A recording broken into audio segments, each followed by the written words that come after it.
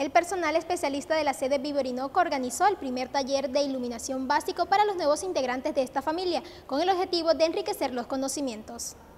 Con el curso de iluminación hemos podido aprender lo que son las luces principales y base para poder contar una historia o para poder iluminar mejor un rostro, detallar un ambiente atrás, eh, definir eh, los rasgos mejor de la persona o definir mejor un contraste con ella, con, nada más las luces.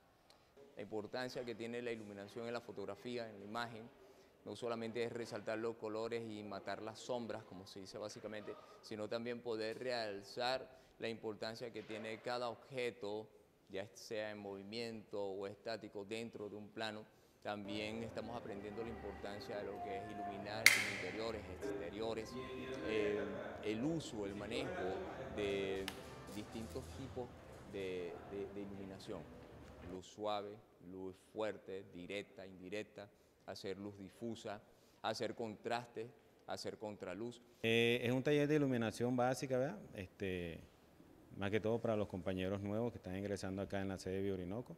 Este, los ayuda a fortalecer eh, en la iluminación, tanto para la producción y eh, transmisiones en vivo, ¿verdad?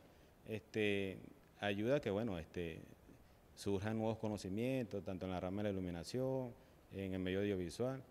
Invito a las otras sedes también a que realicen este tipo de eh, aprendizaje para que este, se involucren tanto aprendices como viejos integrantes en la sede a que fortalezcan más el, sistema de, lo que es la iluminación en la, sede y en los sitios de trabajo.